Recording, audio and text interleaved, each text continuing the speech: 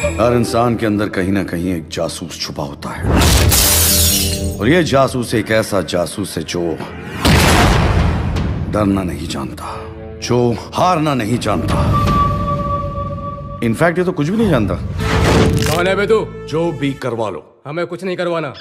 Detective जो भी करवा लो। एक बहन खुश होती है जब उसका भैया ऑफ़िस में प्रमोशन पाता है। एक बीवी खुश होती है जब उसका पति पैसे घर लाता है। लेकिन एक औरत खुश होती है जब देसी बॉयज़ का ओनर उसे अपना कार थमाता है।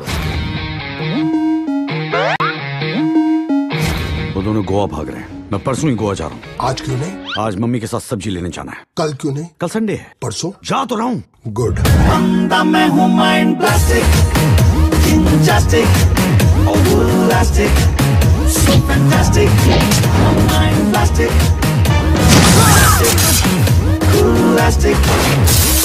fantastic. Oh.